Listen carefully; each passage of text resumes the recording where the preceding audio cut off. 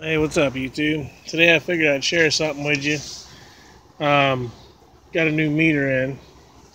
Bought off Amazon for it was $32.99 with free shipping, so 33 bucks. Uni-T uh, UT 210 series mini clamp meter, and um, you know this is what I normally carry with me to do.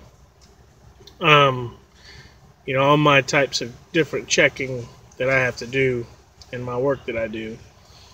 Um, we've got capacitor meter. You know, we got our tick tracer, tells us if our line's hot. You know, these are just two, you know, they're Harbor Freight meters. This one's a clamp meter. I can test amperage draws.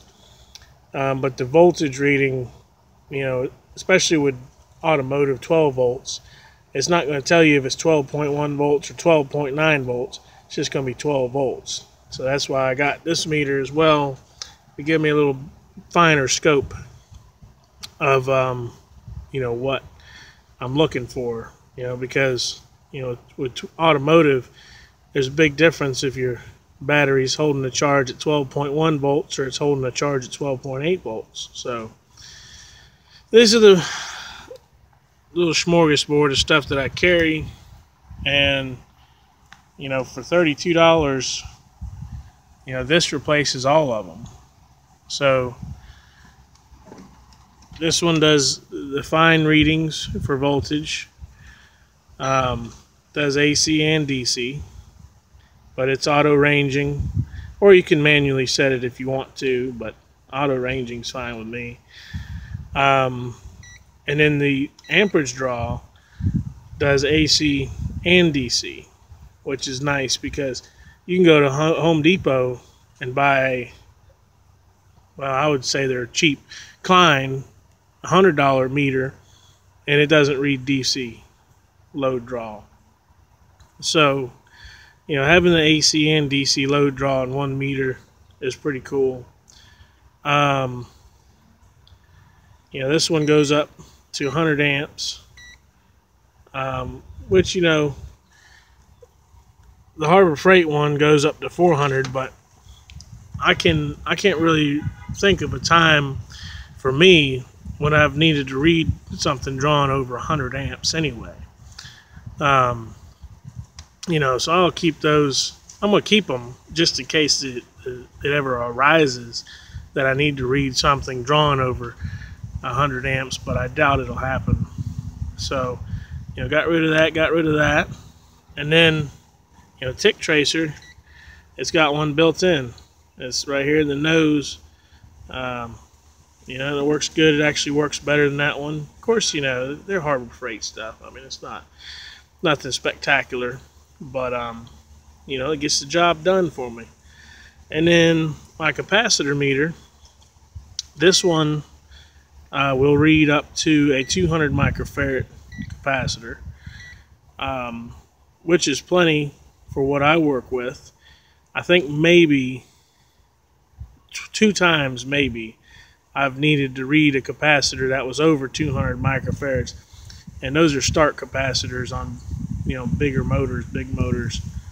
Um, so, like I said, you know, I'm not gonna get rid of my other meters, but this will definitely be the only one I'm just going to carry around, you know, especially working on an air conditioner, you know, trying to troubleshoot what's wrong and you check your voltage.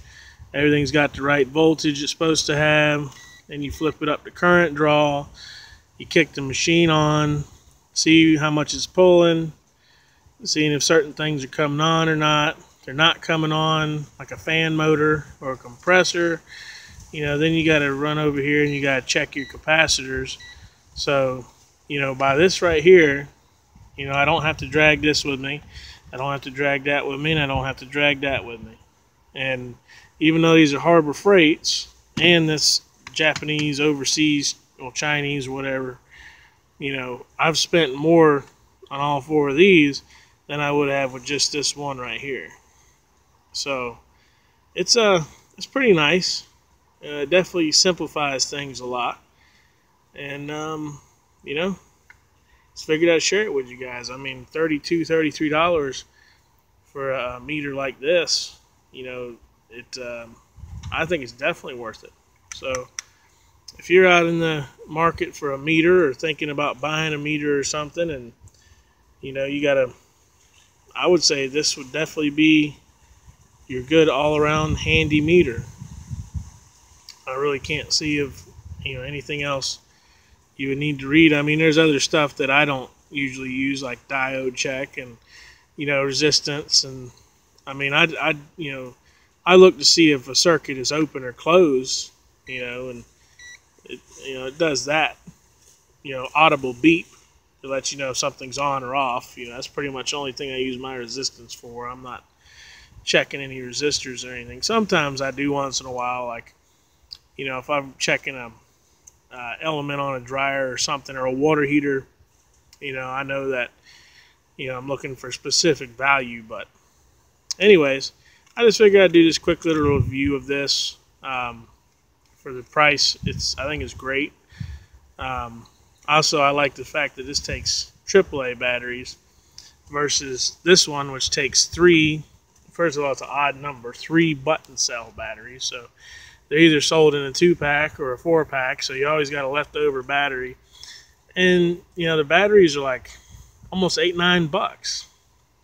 You know, I can just wait till I get a catch a sale coupon and you know, basically by the time the batteries die and I'll wait for a sale, I can just get a new meter by the cost it, how much it cost me to replace the battery. So I'm glad this one has uh, A's, But uh, yeah, so if you're in the market for a meter, uh, go check out this one on Amazon. Uh, can't go wrong, especially for the price. All right, well, I figured I'd share it with you guys. So there it is.